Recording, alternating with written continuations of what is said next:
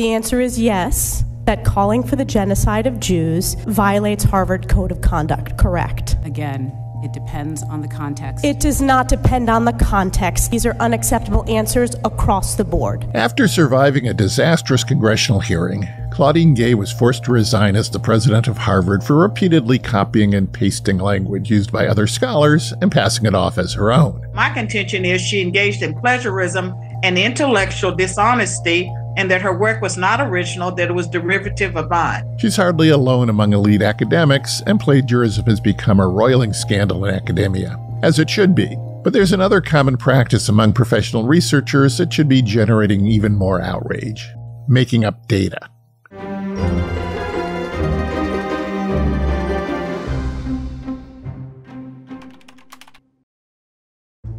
I'm not talking about explicit fraud, which also happens way too often, but openly inserting fictional data into a supposedly objective analysis. Instead of doing the hard work of gathering data to test hypotheses, researchers take the easy path of generating numbers to support their preconceptions or to claim statistical significance. They cloak this practice in fancy sounding words like imputation, ecological inference, contextualization, and synthetic control. They're actually just making stuff up.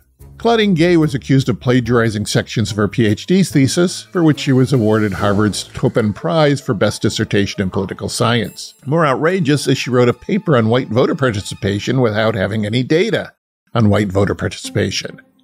In an article in the American Political Science Review based on her dissertation, Gay set out to investigate the link between black congressional representation and political engagement, finding that the election of blacks to Congress negatively affects white political involvement and only rarely increases political engagement among African Americans. To arrive at that finding, you might assume that Gay had done the hard work of measuring white and black voting patterns in the districts she was studying. You would assume wrong.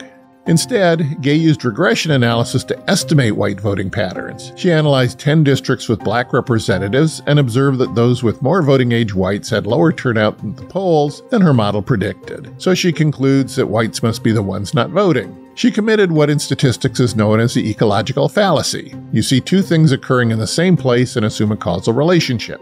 For example, you notice a lot of people dying in hospitals, so you assume hospitals kill people. The classic example is Jim Crow laws restrict us in states that skewed black. Ecological inference leads to the false conclusion that blacks supported Jim Crow. Gay's theory that a black congressional representative depresses white voter turnout could be true, but there are other plausible explanations for what she observed. The point is that we don't know. The way to investigate white voter turnout is to measure white voter turnout. Gay is hardly the only culprit. Because she was the president of Harvard, it's worth making an example of her work, but it reflects broad trends in academia.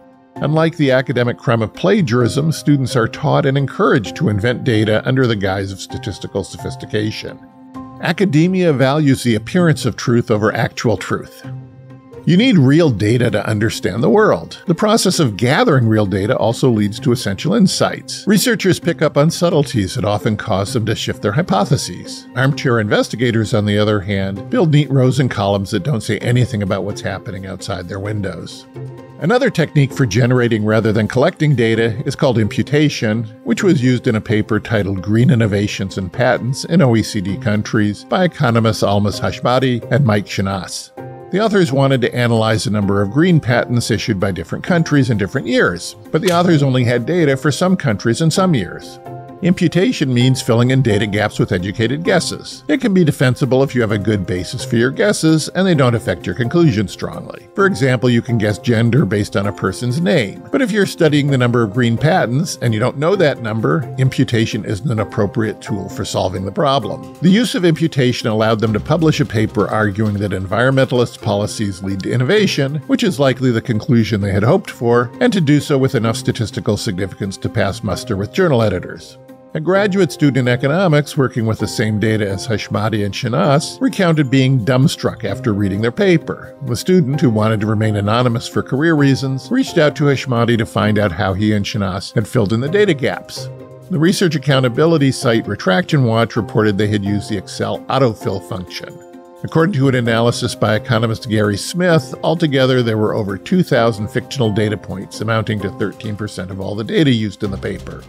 The Excel autofill function is a lot of fun and genuinely handy in some situations. When you enter 123, it guesses 4 as the next entry, but it doesn't work when the data, like much of reality, have no simple or predictable pattern. When you give Excel a list of US presidents, it can't predict the next one. I did give it a try though. Why did Excel think that William Henry Harrison would retake the White House in 1941? Harrison died in office just 31 days after his inauguration in 1841. Autofill figured it was only fair that he be allowed to serve out his remaining years. Why did it pick 1941? That's when FDR began his third term, which apparently Excel considered to be illegitimate, so it exhumed Harrison and put him back in the White House.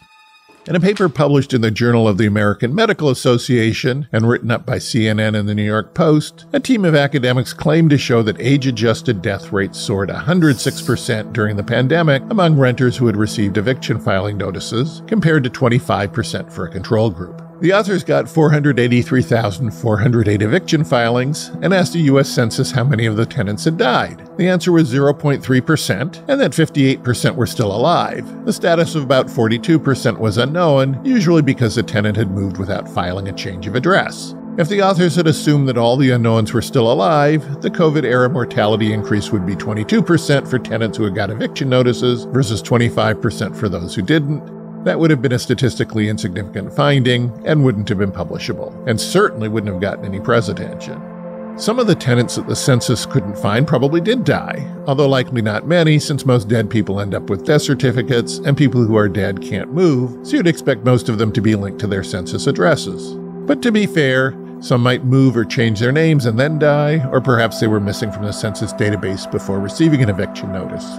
But whatever the reality, the authors didn't have the data. The entire result of their paper, the 106% claimed increase in mortality for renters with eviction filings versus a 22% observed rate, comes from a guess about how many of the unknown tenants had died. How did they guess?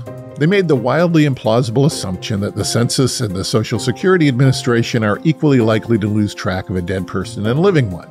Yet the government is far more interested in when people die than when they move especially because they don't want to keep cutting them Social Security checks. Also, dead people don't move or change their names.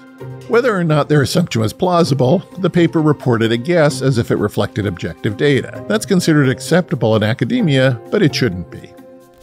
Another paper titled Association Between Connecticut's Permit to Purchase Handgun Law and Homicides, which was published in the American Journal of Public Health, cooked up data to use as a control. The study claimed to show that a 1994 gun control law passed in Connecticut cut firearm homicides by 40%. But firearm homicide rates in Connecticut followed national trends, with no obvious change after the 1994 law. 40% compared to what?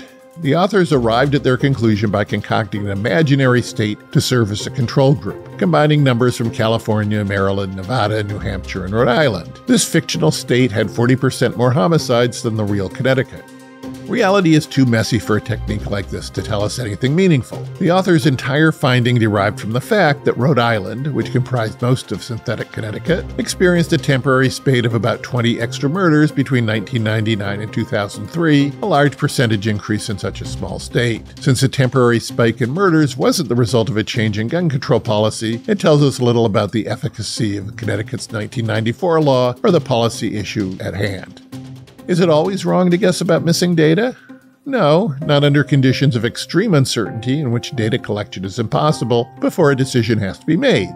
For example, if you are considering a potentially life saving medicine that hasn't been properly studied, you make the best guess you can with the information you have. But difficult decisions that have to be made with scarce information shouldn't influence public policy and aren't worthy of publication. Yet researchers routinely rely on these methods to generate results on matters of no great urgency because in academia, publishing matters more than truth. Which is a shame because progress in human knowledge requires doing real world observations, not clicking a mouse and dragging it to the bottom of a screen.